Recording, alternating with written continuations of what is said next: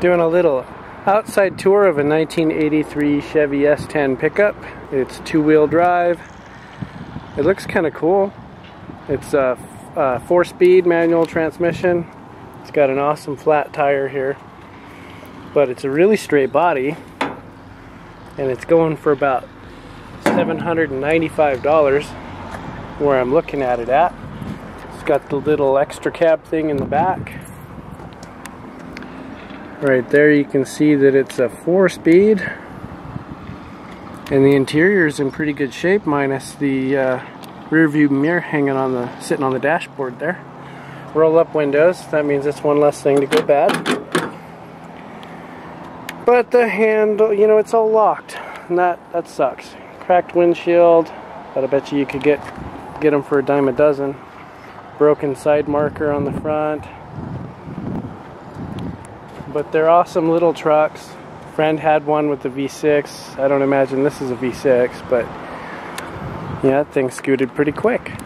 Of course, there's this little guy that I did a video on a little while back. It's a little Fiat Bertone X19.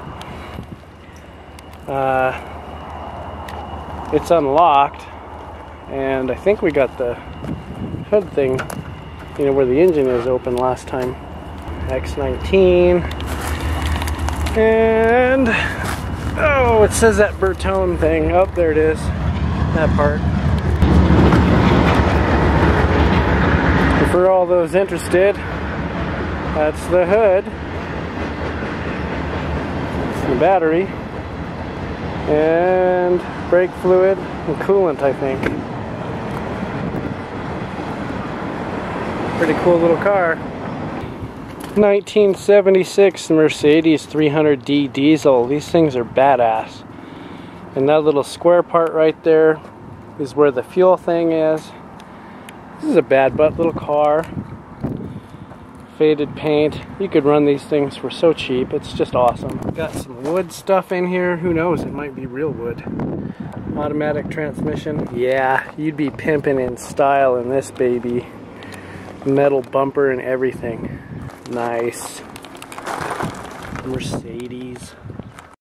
My first car ever when I was a kid, and I've had several of these, was a Nissan 280Z. They're fuel injected, I think 2.8, 2.9 liter inline six cylinder. Nothing beats the classic look of this little, you know, this little teardrop thing in the back.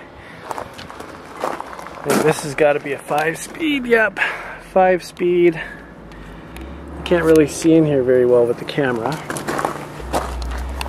But these cars are just cool.